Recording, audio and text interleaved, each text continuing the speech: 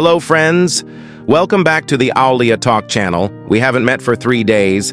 And at our meeting today, let's discuss something special related to BTS.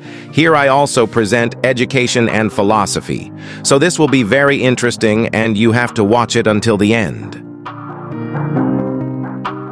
In this video, I will start by discussing Jungkook, the latest portrait of Jungkook BTS, while undergoing his mandatory military training has been successful in making netizens miss it. In fact, Jungkook and Jimin, who registered for military service together, are in Division 5.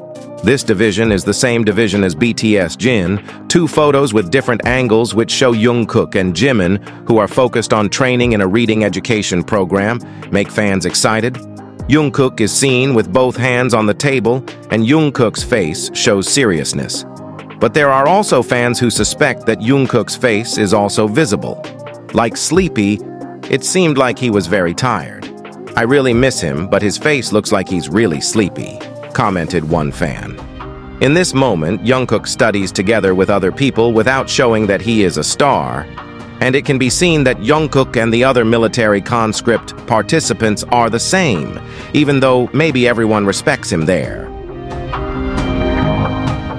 Meanwhile, Taehyung is being conscripted into the military as a member of a terrorism unit where he will wear a special black uniform. Many people are curious about how dashing Taehyung looks when wearing these clothes. Kim Taehyung's military service is actually a moment that could have a good impact on Korea. Maybe there are many artists who have served in the military, but it's different with BTS members. They have a very extraordinary fandom. And I think currently Korea has to show what needs to be shown to the world regarding their military, and they can't make mistakes and of course they have to considering everyone's health, because the BTS fandom from all over the world will definitely continue to monitor the health of their idols, guys. For those of you who miss Taehyung, and want to see Taehyung wearing an anti-terrorist unit uniform, you just need to wait for updated news from this channel.